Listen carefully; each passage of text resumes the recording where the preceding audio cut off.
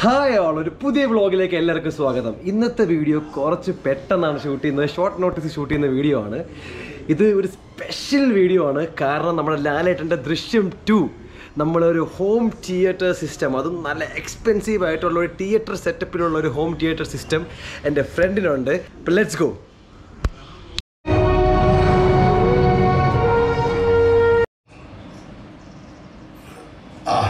എന്നാ പരിപാടിയായിരുന്നു സാറേ? സിനിമ കണ്ട പ്രേക്ഷകർ അഭിപ്രായം പറയൂ. മാരകല്ലേ വിഷയം. എന്താണ് എന്താണ് അഭിപ്രായം?